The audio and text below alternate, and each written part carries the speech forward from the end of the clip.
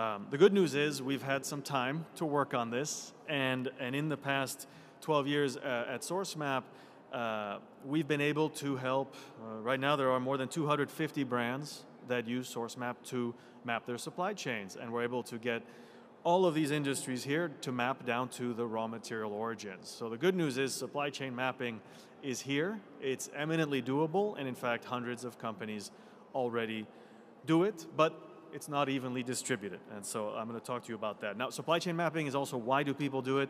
It was a sustainability priority for many years.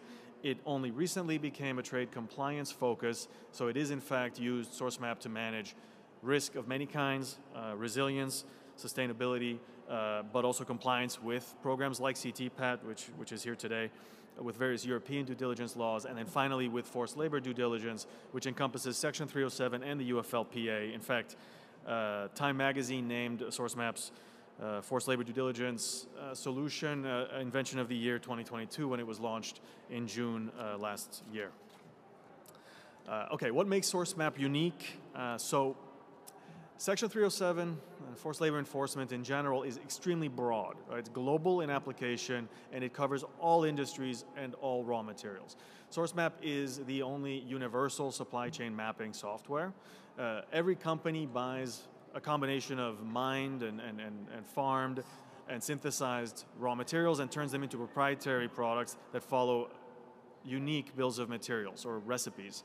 Uh, so what you need to map a global supply chain and ensure there's no forced labor is a universal supply chain mapping tool that can be sent to all suppliers in all countries all at once to get all the way back to where the raw materials come from. Uh, we verify that data, the data that's submitted by the supply chain through continuous tracking of the transactions, and that means the receipts, the bills of lading. We continuously verify the supply chain data, and that means cross-referencing, that means looking for fraud, uh, that means looking for counterfeiting, adulteration every step of the way. Um, and we do all of that in highly secure databases that are managed by our customers because this is all very sensitive data. And this is not data coming from the public do domain. This is actually every company's own supply chain, its own formulations, its own transactions down to raw materials. And then last but not least, we've transformed a handful of industries into being transparent, uh, but there are a few that are left, and so we also have uh, a large team of experts that helps transition companies into this new normal of supply chain transparency. Uh, all, all in all, SourceMap provides basically the, the full suite of software that a company needs to match the CBP importer guidelines. Okay, so that means everything from supply chain mapping, identifying all of the stakeholders in the supply chain through transaction traceability to verify the supply chain, risk assessment to independently verify the veracity of that data, uh, collecting supporting evidence, things like mitigation plans and corrective action plans, and then finally reporting. Uh, just a few interesting tidbits. On average, a customer of SourceMap discovers for the first time 20,000 suppliers that they did not know that they had through the process of supply chain mapping, which I'll, I'll go over. That's a lot of new companies that our customers discover that they're in business with, and they now have to communicate with them to take reasonable care and ensure that they're compliant. Uh, there are tens of thousands, if not more, individual product codes that have to be uploaded into SourceMap in order to trace all of the bills of materials for the typical customer, and more than 100 gigabytes of supporting documents are collected annually. So it's tough to do this with emails and spreadsheets and PowerPoint. You really need a dedicated database and data collection tool. Here's what it looks like when all the hard work is done. Uh, supply chain mapping is, um, uh, as everybody knows, it's putting GPS points on every single supplier in the supply chain. Why? Because the, once it's mapped, you can audit it. So this is the, the gold star, the gold standard for supply chain transparency.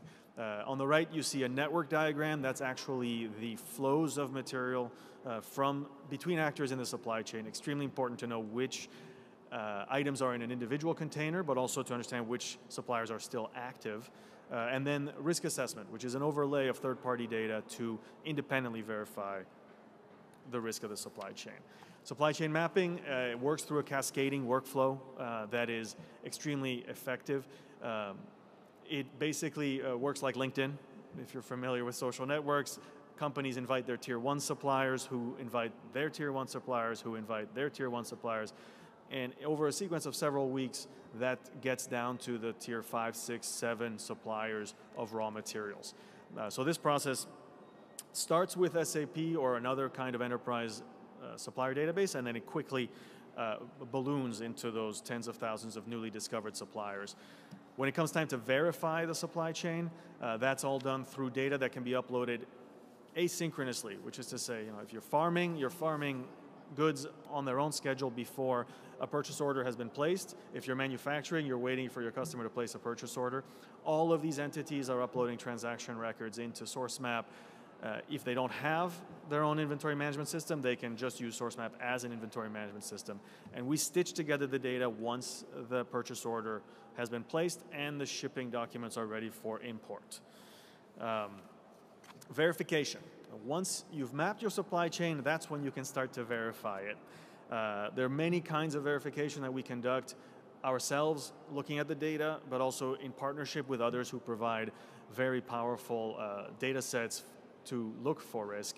Uh, we, we normalize the supplier IDs, we, we use global business identifiers, we deduplicate the suppliers geographically, we look for risks that are geographic in nature, uh, we look for risks in the volumes that are being traded. Uh, that would mean places where there could have been adulteration, places where there could have been counterfeiting, uh, and also places where capacities don't match uh, what is being produced. So too many things being produced somewhere, not enough people, not enough machines, not enough land. We have a mismatch, and that's a red flag for unauthorized subcontracting. We also partner with database providers such as Kharon, who you heard earlier today, uh, extremely high quality data about the risk that a supplier in a customer supply chain is affiliated with an entity on a named list or uh, with an entity that is otherwise uh, high risk. And we bring all of that information to our customers proactively so that they can put in place those corrective action plans and ensure that none of these risks are actually affecting their supply chain. Um, Something very important about supply chain mapping uh, when you are doing it with enterprise data is that we've created a standard for, for vast amounts of data to be shared within a supply chain. And so that means that data has to be very carefully shared. Okay, so there are no data can ever be shared between competitors, it can never be shared between suppliers in the supply chain. All of the data is for the benefit of the importer. Uh, so all of the vendor IDs, all of the transaction records, those are all put onto local servers that are managed by the importer. The data is anonymized and aggregated whenever possible. Anything we can do to shield uh, personal data in the case of privacy regulations and to shield uh, trade secrets in the case of, of, proprietary formulations, for example. And we do all of that in the aim of being able to issue a verified by source map check mark, which is to say enough data has been collected about that supply chain that we can be sure that it is authentic. Um, okay, last but not least on how it works, supplier outreach. So there's a lot of promise in, in artificial intelligence, there's a, there was a, a lot of promise in blockchain, None of this works without some significant culture shift inside industry. And we've seen it happen for apparel, we've seen it happen for food, we've seen it happen for luxury. We're seeing it happen for pharmaceuticals and the automotive sector. And there are other industries that are just starting, uh, but none of it works without uh, very uh, concerted supplier outreach. And so we have a playbook, we have a checklist, we know exactly what steps suppliers must go through to be introduced to the idea of supply chain transparency and to take part and to see the benefits for themselves. Uh, and, and what that does is it achieves pretty tremendous response rates for upstream suppliers. Um, reporting is, is uh, I already showed you, but uh, maybe the, the part that is um, the biggest time saver, uh, other than if you've ever tried to map a supply chain in PowerPoint, you know that it's nice when there's a piece of software that automatically visualizes the entire thing for you, is we also have PDFs that you can print. So if you prefer paper, as I know many people do, uh, you can actually just print that report for that container and hand it over to whoever's asking. Um, uh, we've had the, the good fortune of talking to nearly a thousand companies in the last three years, and we're able to provide each industry with the adoption workflows, with the transition plans that are suited to them. So if you're coming to SourceMap and you're an apparel company, more than 50% of your suppliers are already in SourceMap providing data to your competitors. It's a very, very quick launch.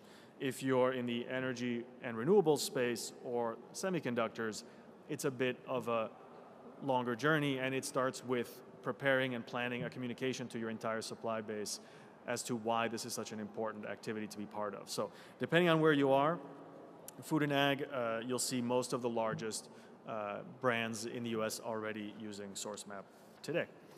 Uh, there's other reasons to map supply chains. So if you, you know, if you ever say, well, this is too much of a burden just for compliance, it isn't. Uh, it's too much of a burden, I would argue, to not find out until you run out of raw materials that your tier two or tier three supplier is a single choke point upon which your entire global business relies. And so more often than not, when companies map their supply chains for the first time, they will discover that in tier two or tier three, they are heavily concentrated in parts of the world that they don't want to be dependent on, or with individual actors that don't have the capacity to meet their growth projections. And that's exactly the, the, the big value. So if you want to be compliant with UFLPA, you need to map your supply chain. But if you want to sleep at night and know that your company can continue to grow, you also want to map your supply chain. In the case of the UFLPA, the, the forced labor due diligence solution, incredibly rapid adoption since it was launched in June of 2022, more than 5,000 suppliers already participating in the data sharing efforts towards the UFLPA compliance. I think even more than usual, every, every supplier in tier one that gets invited to SourceMap for FLDD, for the forced labor due diligence solution, yields 20 new suppliers that were not in our customers' databases before. So if you start with 1,000 suppliers, you now have 20,000. So uh, incredibly uh, rapid adoption uh, and amazing impact. I'll give you one little example in the two minutes I have left. Um, what happens? Well, you know, you've heard about a lot of solutions that can mine public data for the probable affiliations of your suppliers with bad actors. Uh, SourceMap is a system of record, so we actually hold the data on the actual transactions that happen in the supply chains. Our customers are often confronted with probabilities that their supply chains contain bad actors, and they come back after looking in the SourceMap database with, with a definitive proof for or against those assertions. I'll give you an example. We had a customer that had a flagged supplier, and we were able to show that uh, while it's true that that tier three supplier had done business with a named entity in the past, the materials that were manufactured by that alleged uh, contact were not used in any of our customers' products. And that's something that you can only do when you understand the actual bill of materials, the formulation of the products, the actual records of transactions, and then the supply chain map. So it's a very important thing that we, that we use both uh, mined data, but also uh, uh, proprietary customer data, company data, to make sure that we know exactly what is coming from where. Uh, we have a few projects ongoing uh, with the public sector. Uh, we are involved in the global identifier pilot through our customers. We are working with Department of Labor on data structures for traceability to prevent child labor uh, together with Verite on the Streams project. And I'd like to propose to you today that source map, since it's such a powerful tool for collecting very large uh, and complex supply chain maps and all of the supporting information, that it be considered as a case management solution to really cut down on a lot of the work that uh, CBP is doing and other government agencies to map supply chains using PowerPoint or Excel. And then last but not least, um, supply chain transparency isn't just good for compliance and to keep forced labor out of the US. Uh, it's not just good for resilience and making sure supply chains can continue to operate. It's also good for all of us. And, and you'll see brands more and more actually making their supply chains transparent to the general public to build trust with consumers. So this is not just avoiding risk, it's actually creating value and building trust. And with that, uh, we're happy to take your questions and also uh, show you a demo at our table in the back.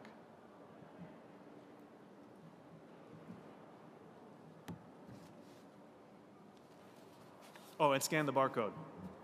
Hey. Hi.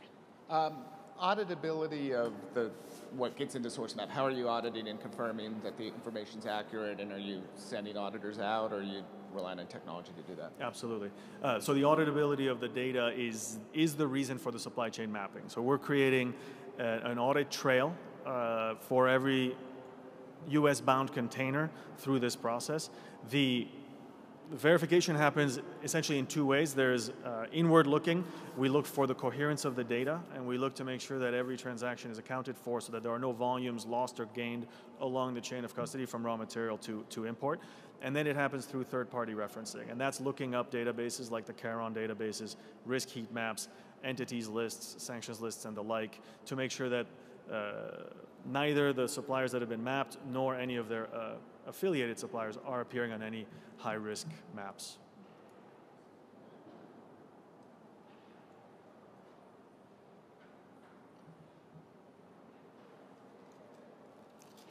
Great. Oh.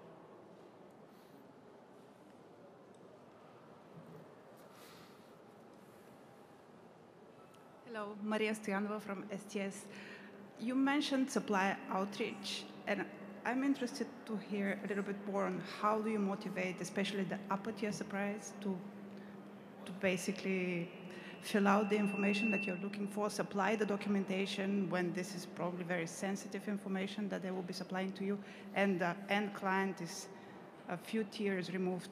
I'm very interested in that. Yeah. Thank you. So the question is, how do we motivate suppliers to provide data? Uh, it's, it's, a good question, and it's gotten a lot easier uh, in the last three years, I can tell you that much. Uh, suppliers are primarily motivated by commercial interests, so they're motivated because the largest brands in the US are requiring supply chain transparency in order to do business with, with foreign suppliers. And so having it now become part of uh, CBP uh, compliance uh, is extremely motivating to uh, overseas suppliers who increasingly have already mapped their supply chains and have the data available to share. So like I said, in the food and apparel and luxury industries, the, the majority of, of tier one suppliers already have data available to share uh, because this has been uh, ongoing for, for more than a decade now. Uh, there are a couple of other uh, things at play here. Uh, since many suppliers already provide transparency, that provides a competitive advantage for those suppliers and a significant competitive disadvantage for companies that don't have the traceability yet. So what has started to happen is a virtuous circle where suppliers are competing on the basis of being transparent. And so as I showed you the slide with the different brands that are using supply chain transparency in a, in a marketing way, in a brand building way, uh, suppliers are doing the same. They're using supply chain transparency to sell more premium uh, goods on, onto premium markets, especially the North American ones. So we think of supply chain transparency as a very small price to pay for access to, to the US market. And then last but not least, um, the biggest outlier group who are unable to provide transparency actually don't have the data or the technology. And so what our outreach team does is identify anywhere that enabling technology needs to be offered. And I forgot to say, you know, for suppliers to use SourceMap is completely free. So small, medium enterprises, smallholder farmers in West Africa, Indonesia use SourceMap every day uh, because it's free and because it is a tool that they can use in and of itself to map their farms to upload their transactions. And so we, we've worked very closely with our customers to provide that enabling technology, and that could go, we had recently a, a hazelnut farmer in Turkey that you know, couldn't log in, and our outreach team was able to track down the farmer's son, and the son had an internet connection and was able to help his dad get online and upload the information. So um, if the commercial incentive isn't enough, more often than not, it's the lack of access to technology, and we have the experience to bridge that gap.